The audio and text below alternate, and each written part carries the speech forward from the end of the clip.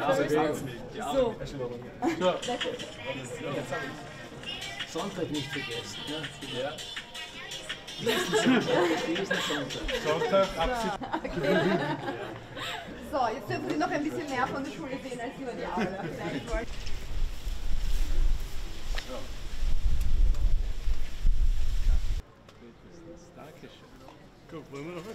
Wenn es gut geht, äh, kriege ich ja mehr Stimmen als alle anderen sechs zusammengenommen. Nur dann hat man die Mehrheit schon am kommenden Sonntag. Das wünsche ich mir sehr, keine Frage. Wir sind in unruhigen, stürmischen Zeiten. Wir müssten uns voll auf, auf, auf die Beherrschung äh, der Probleme konzentrieren, die vor uns stehen. Aber wenn mir der Wunsch nicht erfüllt wird, dann gewinne ich eben vier Wochen später. Ich möchte es nicht, ich möchte diesen Sonntag gewinnen.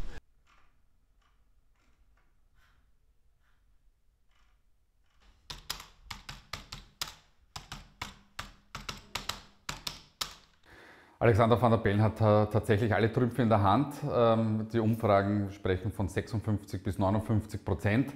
Ähm, auch wenn jetzt van der Bellen nur 53 oder 54 Prozent machen würde, ähm, wäre es trotzdem keine Stichwahl. Also die Chancen, dass es eine Stichwahl gibt, stehen 1 zu 10.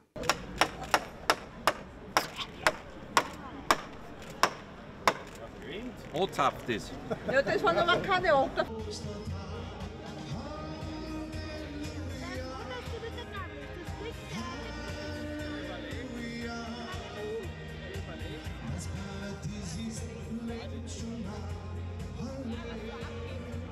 Er verweigert sich und verschanzt sich hinter dem, was er als die Würde des Amtes bezeichnet. Ja, wie kommt er sich denn vor? Ist er schon ein Ersatzkaiser ganz geworden, dass er sich nicht mehr mit den Menschen, mit politischen Mitbewerbern zu diskutieren traut?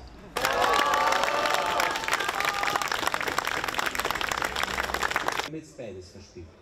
Wir haben mit den wirtschaftlichen Sanktionen, mit diesem Wirtschaftskrieg, den die Freiheitliche Partei nimmt die Wahl für sich ernst. Das heißt, ähm, es ist schon klar, dass es wahrscheinlich sich für den Bundespräsidenten nicht ausgeht, aber man kann die eigenen ähm, Themen propagieren. Man bindet auch weiterhin die Wähler und Wählerinnen an sich und ganz, ganz wichtig ist für die Freiheitliche Partei, dass Walter Rosenkranz zumindest doch Zweiter wird.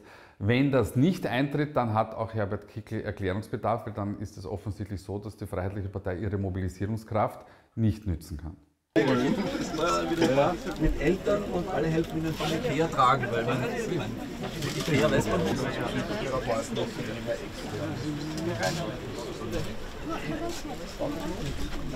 Wer, wer hat ein Bier bestellt, bitte? Ich mag mit ganz, da bin ich. Ja. So. Dankeschön. So, so eine kriegst du?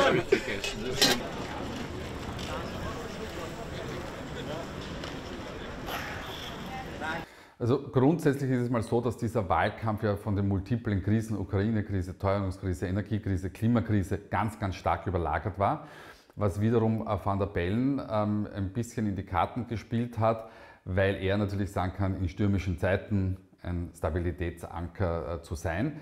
Ähm, die Gegenkandidaten haben versucht, auch ein bisschen an der Corona-Krise ähm, anzudocken. Das heißt, äh, wie Rosenkranz sagt, wir holen uns unsere Freiheit zurück. Ähm, oder wie auch Groß und, und auch Valentin sagt, dass der Staat einfach zu stark eingegriffen hat. Aber in Wirklichkeit hat es in Österreich keinen echten Wahlkampf gegeben. Es war eher ein Wahlgeplänkel.